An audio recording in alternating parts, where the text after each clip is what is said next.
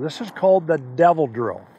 It was designed by Larry Vickers and basically 666. You're going to shoot six shots at six yards in six seconds.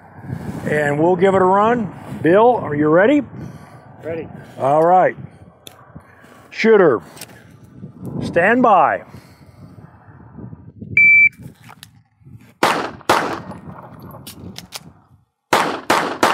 Nice. Time of 5.67. They're all in. That's a clean run.